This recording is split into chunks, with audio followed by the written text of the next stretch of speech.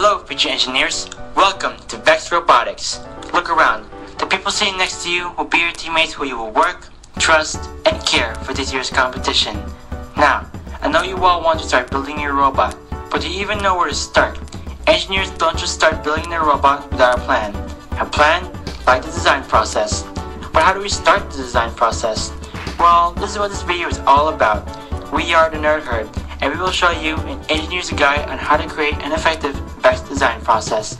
There are six steps in the design process, and all these steps must be recorded in an engineering notebook. The design process we will show you is almost the same format as Project Lead the Way. The first step is to define the problem. Think of a problem you and your team are trying to accomplish. With every problem, there's always a solution, and your goal is to find that solution. The second step is to generate concepts.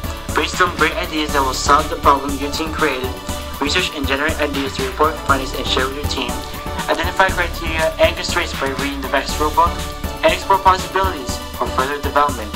As an engineer, you can think of multiple ideas that you want to share with your team. Every idea counts. Let your imagination turn into a reality. The third step is to develop a solution.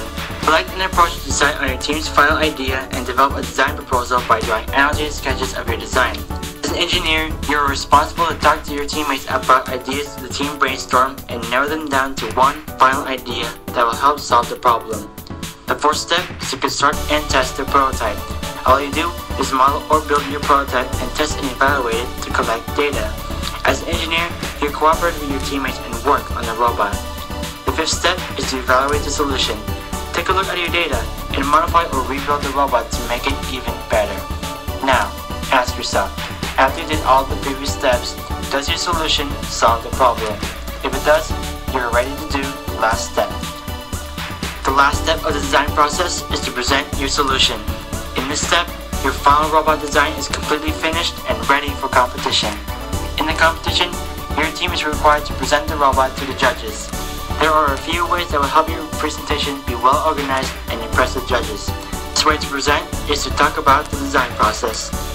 You can present the design process and the robot through the engineering notebook, poster board, PowerPoint, etc. It's your choice how you will present it.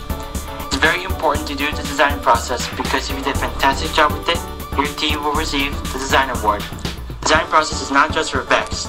As an engineer, you can use the design process for solving real-life problems that can help not only earn a lot of money, but also change the world.